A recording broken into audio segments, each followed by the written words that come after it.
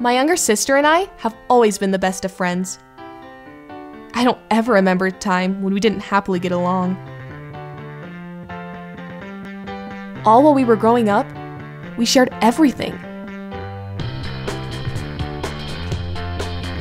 We were inseparable.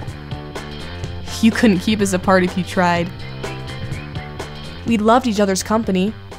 She was welcome in my room anytime. We were each other's confidants. I shared with her all of my deepest secrets and dreams. We were always happy to see each other after one of us had been away.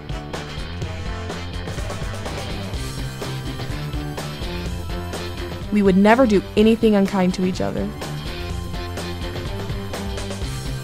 My sister was always the adventurous one.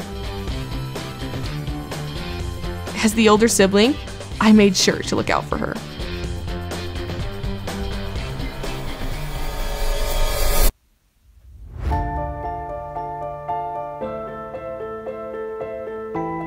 We were always there for each other in our times of need.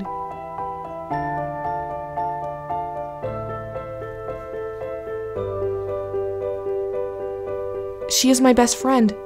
I don't know what I would do without her.